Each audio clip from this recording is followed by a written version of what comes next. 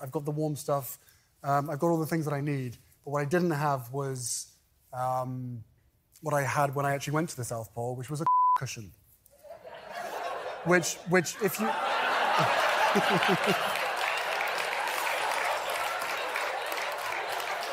which is, which is a good. No one in my life when I was a child could ever explain to me that someday the Duke of Sussex was going to say the words cushion to me.